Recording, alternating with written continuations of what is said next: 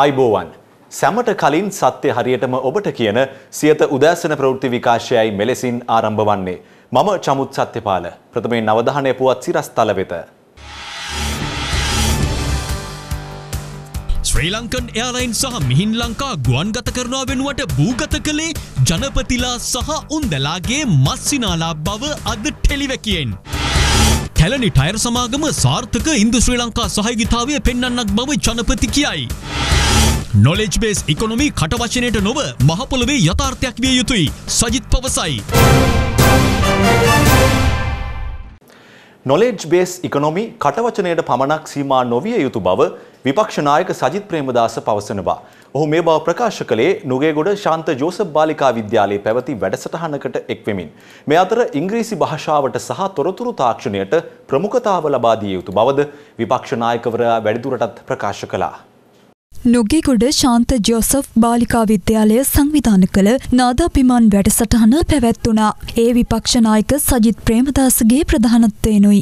ඉංග්‍රීසි භාෂා අධ්‍යාපනයට ඉංග්‍රීසි භාෂා සාක්ෂරතාවයට අපි ඉහළ ප්‍රමුඛතාවයක් ලබා දෙන්නට. තොරතුරු තාක්ෂණ අධ්‍යාපනය හයේ සිට දහතුන දක්වා පමණක් නොව එකේ සිට දහතුන දක්වා ඒ අධ්‍යාපනය ක්‍රියාත්මක වෙන්නට ඕන. තොරතුරු තාක්ෂණයේ විෂයක් හැටියට පරිගණික විද්‍යාව විෂයක් හැටියට. නූතනවාදී අධ්‍යාපන ක්‍රමයක් තුළ එය අනිවාර්ය විෂයක් විය යුතුයි. අපි අදහස් කරනවා මේ රටේ රජයේ පාසල් දහදස් එකසිය විසි හයටම අධ්‍යාපන කැපකරු මාපිය ක්‍රමයක් ආරම්භ කරන්න. රජයෙන් ලබා දෙන මූල්‍ය අරමුදල් වලට අමතරව මේ රටේ හැම රජයේ පාසලකටම කැපකරු මාපිය ක්‍රමයක් ඇති කර. හැම පාසලකම සංවර්ධන භාරකාර අරමුදලක් ස්ථාපනය කරලා. ඒ තුළින් පාසලේ අධ්‍යාපනයේ ගුණාත්මක භාවය ඉහළ නංවන්නට ඒ අවශ්‍ය ප්‍රතිපාදන ලබා ගැනීමේ නැවුම් ක්‍රමවේදවලට අපි යොමුවන්නට. විශේෂෙන්ම දැරියන්ගේ අධ්‍යාපනය වෙනුවෙන් අපි විශේෂිත වූ වැඩසටහන ක්‍රියාත්මක කරන්නට.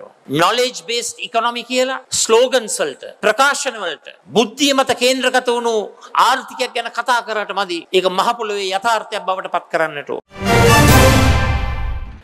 ජාතික ජනබලවේගය රටේ බලය ලබා ගන්නවා කියන්නේ මනෝරාජික අදහසක් නොවන බව ජාතික ජනබලවේගේ නායක පාර්ලිමේන්තු මන්ත්‍රී අනුර කුමාර දිසානායක පවසනවා. එය ශ්‍රී ලංකාවේ මහපොළොවේ යථාර්ථය බවයි ඔහු පෙන්වා දෙන්නේ. ඇමරිකාවේ හුස්ටන්හි පැවති ජනහමුවකදී ඔහු මේ බව ප්‍රකාශ කළා. වර්තමාන ජාතික ජනබලවේගේ බලය ගන්නවා කියන්නේ මනෝරාජික අදහසක් නෙවෙයි ලංකාවේ මහපොළොවේ යථාර්ථය. ඉස්සර වේදිකාවට මේගොල්ලෝ පෙවුන්නේ එකිනෙකාට එරෙහිව අවි අමෝරාගත් දෙපැත්ත සටන් කරන ප්‍රතිවිරෝධී කඳවුරු දෙකක් හැටියට පෙවුනා. හැබැයි හැමදාමත් එක වේදිකාව විතරයි තිබුණේ වේදිකාවෙන් තිරියෙන් පිටුපස කවදාවත් ඒගොල්ලෝගේ සටනක් තිබුණේ නැහැ. හැබැයි වේදිකාවේ දක්වන රඟ දැක්වීම හේතු කොටගෙන සමාජෙ බෙදිලා තියෙනවා. ආ ඇත්තටම ගහගන්න ඕනේ. ඇත්තටම කවදාවත් ගහගත්තේ නැහැ. අන්තිමට බුදු රට බංකොලොත් රාජ්‍යවලට පත් වුණා. රනිල් කියන්නේ කවදාවත් තමන් හදපු ඉලක්කයක් අවසන් කරන්න සමත් වෙච්ච නායකයෙක්. ආ මෙයා තනි මන්ත්‍රී ජනාධිපති නෝගලන්ට තුන් දෙනෙක් ඉඳලා බැරුණා. මින මෑන්. ගොඩාක් කතා කරනවා. රනිල් බාරගත්තා කියලා නෑ. රනිල් බාරගත්තේ නෑ. රනිල්ව තෝරාගත්තා. මොකද රාජපක්ෂ කඳවුර හිතුවා. එයාට ප්‍රතිවිරෝධී කඳවුරකට බලය ගියොත් ඒ බලය විසින් බලය උත්පාදනය කරගන්න. එනිසා ඒගොල්ලෝ කල්පනා කරා අනාගතය පිළිබඳ බල සැලැස්මක් නැති අවලංගු වෙච්ච දේශපාලන නායකයෙක් මේ වෙලාවේ තෝරාගන්නවා කියලා. ඒක තමයි රනිල්ව තෝරාගන්නේ. අපිව තෝරගත්තා. අපිට තව අනාගත දේශපාලන සලස්මක් එක්ක අපි වැඩ කරන්න. සජිත් තෝරගත්තා. ඌ අනාගත දේශපාලන සලස්මක්. රනිල් නිමී ගිය පහනක් වගේ. ඉතින් යාට පොල් තෙල් ටිකක් දාලා පත්තු කරලා තියෙනවා ආයෙ නිවිනවා කැලනිට අය සමාගමේ හවුල්කාරිත්වය ඉන්දු ශ්‍රී ලංකා සහයෝගීතාව මැනවින් පිළිබිබු කරන සාර්ථක අවස්ථාවක් බව ජනාධිපති රනිල් වික්‍රමසිංහ පවසනවා. සියට් කැලනිට අය ව්‍යාපාරයේ විසි පස්වන සැමරුම් උත්සයට එක්වෙමිනුයි ජනාධිපතිවරයා මේ බව ප්‍රකාශ කළේ. සියට් කැලිනිට අය ව්‍යාපාරයේ විසිපස් වන සැමරුම් උත්සවය ජනාධිපති රනිල් වික්‍රමසිංහගේ ප්‍රධානත්වයෙන් කොළඹ ශංක්‍රලා හෝටලේදී පැවැත්වුණා. කැලනි ටයර්ස් කැලනි ටයර් සමාගමේ හවුල්කාරීත්වය සාර්ථක ඉන්දු ශ්‍රී ලංකා සහයෝගීතාවය මැනවින් පිළිමිබු කරන අවස්ථාවක්. ඒවගේම මෙය ශ්‍රී ලංකාවේ වෙළඳපලට පිවිසීමට අපේක්ෂා කරන පාර්ශවයන්ට කදිම ආදර්ශයක්. අද උන්සිය විසිපස් වන සංවත්සරය පවත්වන අවස්ථාවේ මම ඔවුන්ට සුභපතන අතරම මීට වඩා තරංගකාරීත්වයට අවතීර්ණව අපනයන ඉහළ නංවා ගනිමින් කර්මාන්ත ශාලාව පුල් කරන ලෙස මම ඔවුන්ගෙන් ඉල්ලා සිටිනවා. එසේම සියට් කැලනි ව්‍යාපාරය සාර්ථක ව්‍යාපාරයක් බවට පත්කර ගැනීමට කැප වූ සියලු දෙනාට මගේ ස්තුතිය පිරිනමනවා. ඉදිරි විසි පස්වසර තුළ ඔබ ශ්‍රී ලංකාවේ බහන්්ඩාතර තරගකාරී අපනායනකරුවෙකු ලෙස දැකීම මගේ අපේක්ෂාවයි. Very competitive exporter of Sri Lankan goods. මෙම අවස්ථාවට හිටපු අග්‍රාමාත්‍ය මහින්ද රාජපක්ෂ නිමල් සිරිපාලද සිල්වා ඇතුළු පිරිසක් එක්ව සිටියා. දූෂණය වංචාව නාස්තිය අක්‍රමිකතා සහ අකාර්යක්ෂමතාව ගැන රටට ඇත්ත කියන ටෙලිවිෂන් ටෙලිවැකිය දැන්. ටෙලිවිෂන් ටෙලිවැකිය. අද නොවැම්බර් පලවෙනිදා. අද ලියන්නේ තුන්සිය අනු නම වැනි ටෙලිවැකිය. විශේෂයෙන් කතෝලික ජනතාව අදින් ආරම්භ වන මාසේ ඒකැන්නේ නොවැම්බරයට කියන්නේ මලවුන්ගේ මාසය කියලා. මලවුන්ගේ දිනය හෙටට යෙදී තිබෙනවා. මියගිය අය සිහිකරමින් දානමානදීම සොහොන්කොත් පිරිසිදු කිරීම ආදිය සිදුකිරීම එසේම මියගිය ආත්මයන් වෙනුවෙන් යාඥා කිරීම කතෝලික ජනතාවගේ සිරිතයි. මලවුන්ගේ මාසය මතක් කරලා ටෙලිවැකිය ආරම්භ කළේ දැන් අපේ රටේ සාමාන්‍ය ජනතාවට පාලකින් උරුම කරලා දුන්නේ දීල තියෙන්නේ උරුම කරමින් සිටින්නේ මලවුන්ගේ රටක් කියල පෙන්නල දෙන්නයි. අද රටේ ජනතාව මේ රටේ ජනතාව කිවේ මේ බහුතරයක් සාමාන්‍ය මිනිස්සු හොඳේ ඇවිදින මලමිනි වගේ. ලයිට් බිල් වතුරබිල් දරුවන්ගේ කෑමබීම ටියෂන් ගාස්තු පාසැල්වෑන් රථගාස්වාදී එකී මෙකී නොකී බිල් වගේම දින පතාම ඉහලයන්න බහන්ඩ මිල ජනජීවිතය අපායක් කරලා තියෙන්නේ. හැම ප්‍රශ්නයකටම මිටියක් පමණක් අත ඇති පාලකින්ට සියල්ලුම ප්‍රශ්න පේන්නේ ඇන වගේ. ඇන වගේ හොඳේ ඇයි අතේ තියන්නේ මිටිය විතරයිනි මේ පාලකින් අත ඇත්තේ විසඳුම් කීපයක් විතරමයි. හරිය එකක් බදු ගහන එක දෙක මිල වැඩි කරන එක. තුන විකුණා දමන එක හතර නයිල්ලන එක. හරි ලේසි. එකක් බදු ගහනවා දෙක මිල වැඩි කරනවා තුන විකුණනවා හතර නයිල්ලනවා මේ ටික විතරමයි මේ පාලකින් ළඟ විසඳුම් කියලා තියෙන්නේ. හොඳේ? දැන් ජනවාරි සිට වැට් එක සියයට දහ අටකින් වැඩි කලා ජනවාරිවලදී මේ වැට් එක ආයේ අපේ බත් පතට එකතු වෙනවා. ඒ එක්කම ඊයේ ඔය ඇමති නිමල් සිරිපාල කිව්වා ශ්‍රී ලංකන් යාලයින් එක විකුණා දමන් තමන්ට ඒක මිලදී ගන්න මේ ලන්සු කැඳවනවා කියලා නේද. අපේ රටේ රාජ්‍ය ආයතනවලට ඇත්තටම මොකද වනේ කෞද රාජ්‍යායතන විනාශ කළේ විනාශ කරන්න කියන එකට හොඳ මුදාහරණය ශ්‍රී ලංකන් එයාලයින් එක. මේ අපේ ජාතික ගුවන් සේවාව හොඳේ එක්දහස් නමසි හැත්ත නවේදි තමයි ආරම්භ කළේ දැන් අවුරුදු හතලිස් හතරක් ගිහිල්ලා. අවුරුදු හතලිස් හතරක් ගිය තැන බංකලුත් ආයතනයක්.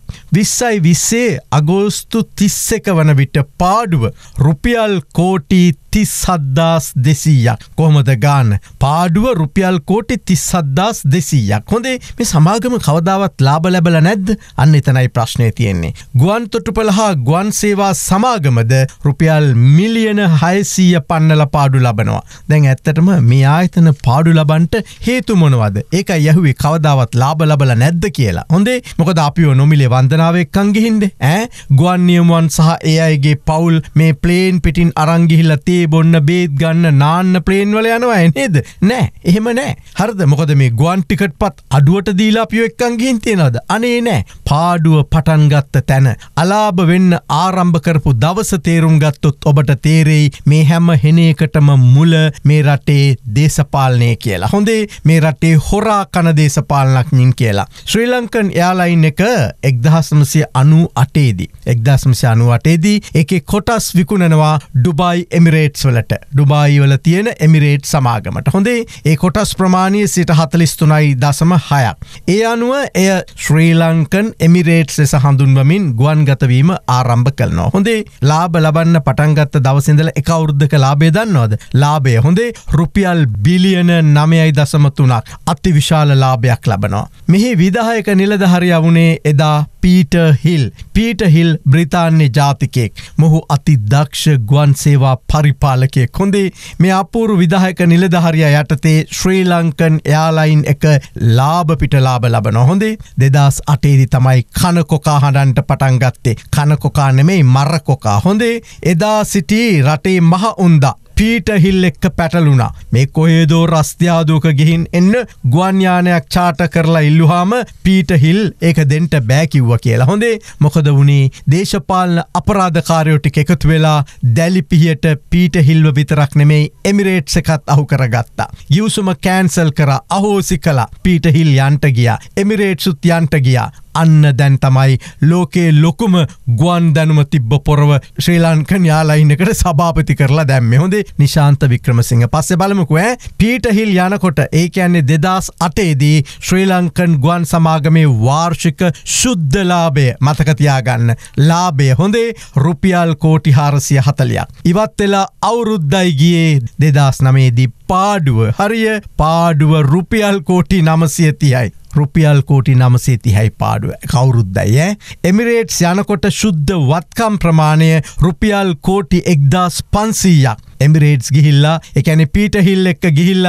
අවුරුදු හතයිගේ දෙදස් පහළුවේදී ශුද්ධ වත්කම් රින රුපියල් කෝටි හද්දාස් පන්සීයයි හරිද? ලාභ කතන්දර මුකුත් නෑ රින රින රුපියල් කෝටි හද්දාස් පන්සීයයි කොහොමද? අවුරුදු පහට ගැහිල්ල. හොඳේ මේ රිනවෙමින් මේ විනාශය ආරම්භ වනේ මහින්ද රාජපක්ෂගේ මස්සින. අරමුලින් කිව්ව නිශාන්ත වික්‍රමසිංහත් එක්ක කියලා හරි අපූරුවට පස්සෙ කාලෙදි ඔප්පු වනා හොඳේ අවුරුදු හැත්තෑවක් විතර වයස නිශාන්ත වික්‍රමසිංහව දැම්මේ අර මේ ජාත්‍යන්තර අත්දැකීම් උපරිමයෙන් තිබුණු පීට හිල්ව එලෝල නේද? එදා ඉඳලා විනාශය ආරම්භුනා කියලා ඔය පසුකාලීන වාර්තා ගණනාවකම තියෙනවා. හොඳේ හරි දිගයි කියන්ට ගියොත් ලැජ්ජයි දෙදා සයේදී මේ අර කොරේ පිටට මරේ කියලා මහින්ද රාජපක්ෂ පාලනේ මිහිල් ලංකා කියල තව ගුවන් යානා සේවයකුත් පටන්ගත්තන නේද? මිහින් ලංකා. හරිද? එක මහින්ද ලංකා කිව්වත් එකම තේරුම. හොඳේ හත්තර අතෙන් ණය අරගෙන ආරම්භ කළ මිහින් ලංකාව තවත් ඉතින් ණය කන්දක් ඉතුරු කල් රටටම බරක් වෙලා උන්ගේ පොකට් සරු කරලා භූගත වුණා. ගුවන් ගත වෙනක වෙනුට භූගත වුණා. හොඳේ පුංචිම පුංචි හොරකමක් විතරක් ලියලා එයා ලංකාව වැනසුවේ අලාභ කළේ මේ හොර දේශපාලන වංචනකින් කියලාද ටෙලිවැකිය අවසන් කරන්නම්. හරිය? ඔය දෙදස් දහය ඉඳලා දෙදස් පහළු අවුරුදු පහට එක් ආදරණීය ගුවන් සේවිකාවක් හිටිය. හරිද? මේ සේවිකාව මේ ජනාධිපති ලේකම් කාර්යාලයට අනියුක්ත කරලා තිබුණි හොඳේ ජනාධිපති ලේකම් කාර්යාලයට.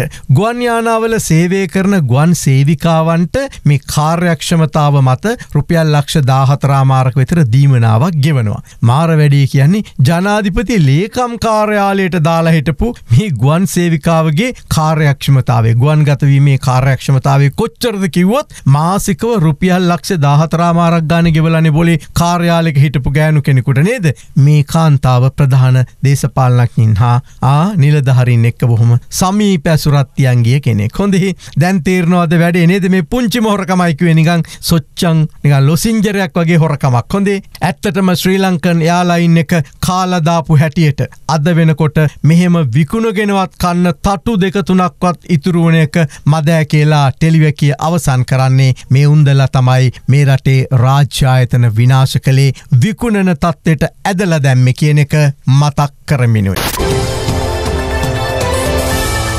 ටෙලිවිෂන් ටෙලිවැකිය. ඒ පොතත් සමගින් සියත උදැසන ප්‍රවෘත්ති විකාශය නිමාවට පත්වෙනවා යළිත් අප ඔබ හමුවන්නේ අපගේ මධ්‍යහන ප්‍රවෘත්ති විකාශය සමගින් ඔබට සුබදවසක්.